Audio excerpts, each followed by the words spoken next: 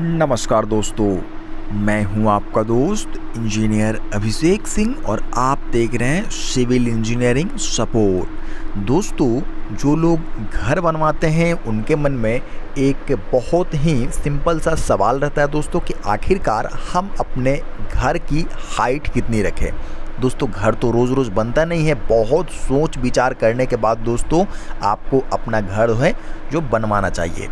दोस्तों, आज मैं आपको बताने वाला हूँ, घर की हाइट निकालने के लिए दोस्तों, आपको दो तीन चीज़ जानना बहुत ही ज़रूरी है कि आप अपने घर का सिल लेवल कितना रखवाना चाहते हैं, साथ ही साथ लिंटल लेवल कितना रखवाना चाहते हैं, उसके बाद हम बात करेंगे फ्लोर लेवल का, यानी कि जो हमारे घर का हाइट रहेगा वो कितना रहेगा। दोस्तों सिल लेवल इस लेवल को कहते हैं। खिड़की जहाँ से छोड़ते हैं ना, उसको सिल लेवल कहते हैं। तो मैं आपको बता दूँ बेडरूम में आपको सिल लेवल के लिए दोस्तों तीन फीट ऊपर जाना ज़रूरी है। मतलब कि तीन फीट पे खिड़की छोड़ना आपको स्टार्ट करना चाहिए। जबकि हॉल में और या फिर दूसरे जगह में बेडरूम के बाहर दोस्तों आप इस चीज़ को क्या कर सकते हैं कि दो फीट दस इंची के करीब में रख सकते हैं। दोस्तों बेडरूम में तीन फीट कम से कम इसको रखना ही चाहिए और बहुत ज़्यादा हाइट नहीं करना चाहिए, नहीं तो आपका वेंटिलेशन दोस्तों बिगड़ सकता है।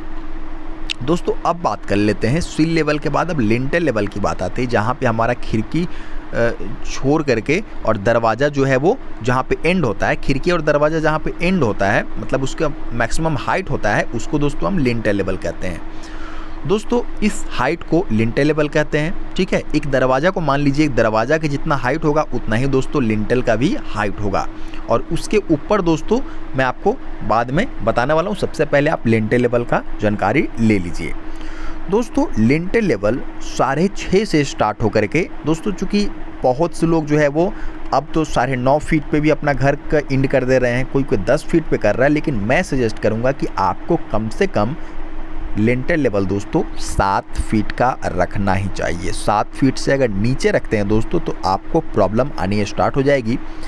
दोस्तों, यहाँ पे ये जो लेवल ये सात फीट का होना चाहिए। ज़मीन से यहाँ तक दोस्तों, सात फीट आना चाहिए। और ये जो लेवल है दोस्तों, ये लगभग लगभग मैं आपको बता रहा हूँ, बीम को लेकर के तीन फीट आपका हो जाना चाहिए।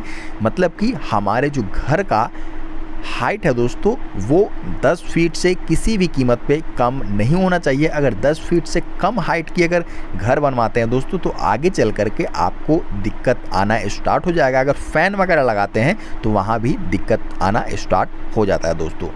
तो दोस्तों, अगर आप घर बनवा रहे हैं तो आप हमारे चैनल को सब्सक्राइब कर सकते हैं। हर एक छोटी बड़ी जानकारी, चाहे वो कास्टिंग हो, चाहे वो लेआउट हो, चाहे वो ड्राइंग हो, हर चीज़ आपको इस चैनल पे समय पे मिल जाती है दोस्तों। बसरते आप कमेंट बॉक्स में कमेंट डालिए, आपका कमेंट अगर सुझाव मुझे अच्छा लगा तो उसको भी मैं वीडियो में शामिल करता हूँ। तो फिर मिलते हैं दोस्तों, एक अगले वीडियो के साथ। तब तक इंतज़ार कीजिए। धन्यवाद दोस्तों।